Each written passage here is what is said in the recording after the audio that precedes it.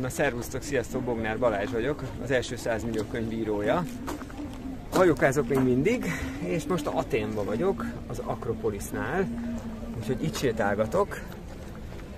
Hát 20 fok napsütést mondtak, ez nem jött be, úgyhogy ha, hasonlóképpen így számíthatunk a tőzsdei árfolyam előrejelzésekre is.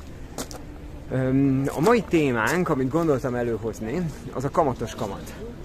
Biztos százszor hallottatok már róla, de nekem még mindig az a véleményem, hogy az emberek ezt nem tudják felfogni, úgyhogy most elmondom nektek, hogy miért nehéz uh, felfogni.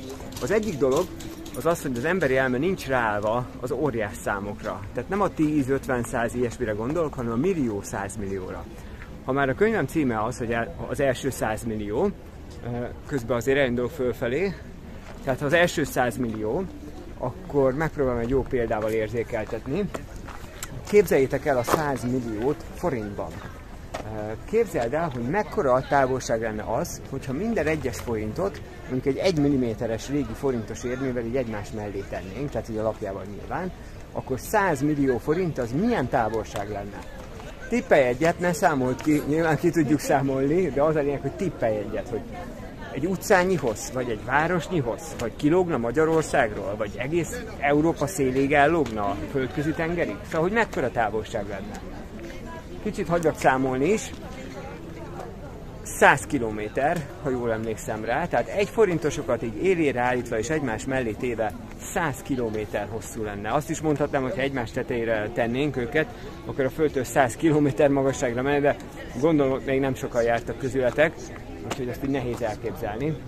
Úgyhogy az első példa erre, hogy nem tudjuk elképzelni, hogy mennyi is ez a 100 millió, egyszerűen nem, nem állt rá az agyunk.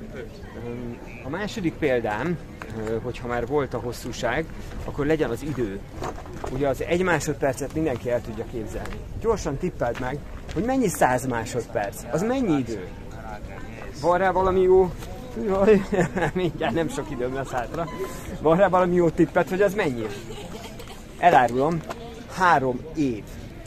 100 millió másodperc, az három év. Ugye, hogy a három évet az könnyű elképzelni, azt tudjuk mennyi, az három év. Az könnyű elképzelni. De, de az, hogy 100 millió másodperc, az sokkal nehezebb volt elképzelni.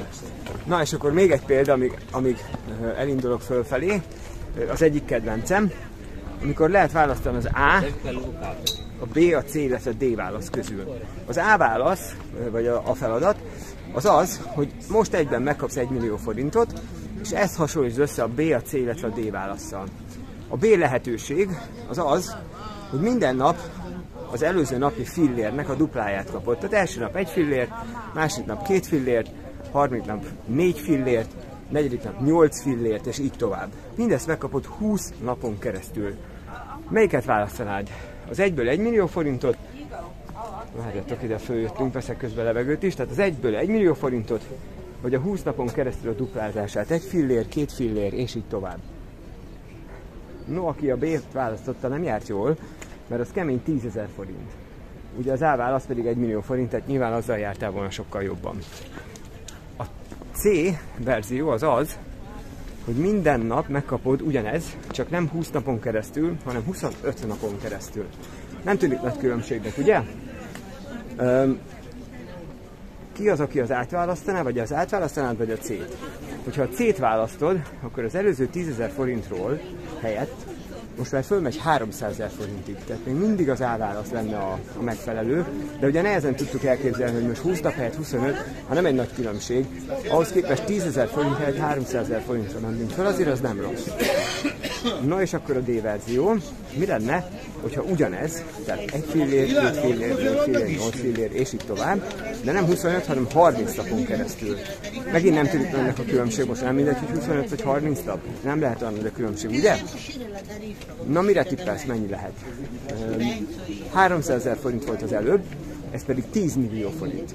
Tehát, hogyha 30 napig ezt a dupla filléres verziót játszuk, játékot, akkor 10 millió forint lenne. És ez az egyik olyan dolog, ami miatt a kamatos kamatot nagyon nehéz nekünk embereknek felfogni, mert nem vagyunk hozzászokva ezekhez a nagy számokhoz, nem tudjuk elképzelni. Egyet, ötöt, tizet mindenből el tudunk képzelni, de milliót, tíz milliót, száz milliót nem tudunk elképzelni. Ez az egyik része, a másik része pedig ez, amikor így, így duplázódva növekszik valami, ez az exponenciális növekedés, ezt nem tudjuk elképzelni. Ha most így ezt mondom neked, hogy uh, van egy jó példa, hogy mindjárt behelyezem ebbe a, a környezetbe, uh, amikor a, az egyik szolga vagy paraszt, vagy mindegy, tehát egy uh, falulakó még a régi időkben uh, tett valami jót, és a király meg akarta hálálni. Behívatta a, a palotájába, és megkérdezte tőle, hogy mit szeretne, mit kér.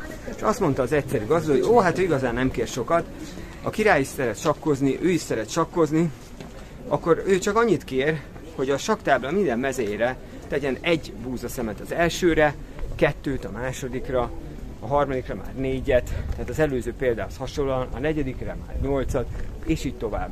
Király megörült, ó, hát ez semmiség, mondta, és el is kezdte teljesíteni a kérését, majd kiderült, hogy ez annyi búza, amennyi nem, hogy a, annyi búza szem, amennyi nem, hogy kicsit le van zárva, nem, hogy a világon nem létezik, hanem ha jól tudom, annyi búzát még összesen nem termelt az emberiség búzaszemet, ami a kettő a 64-en. Ezt vagy leellenőrzitek, ezt csak ilyen jó sztorikét hallottam. Én nem előriztem le, meg nem tudom hány búzaszem van a világon, de hogy az valami olyan felfoghatatlan óriás szám, amit az ember így nem is gondolna, hogy 2 64-en az mennyi. Úgyhogy ez az első, veszek egy kis levegőt, meg följebb megyek, és akkor jelentkezem még.